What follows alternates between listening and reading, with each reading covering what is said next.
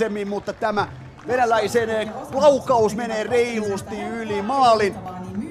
Ollut, kuten sanottu aikaisemmin, joka puolella tuota vasenta laitaa, milloin myös keskustassa.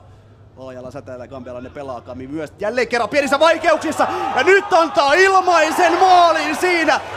Rassi hyökkäjä Stenjolle, joka kiittää. Kuittaa, käy hakemassa vielä pelivälineen takaisin keskustaan.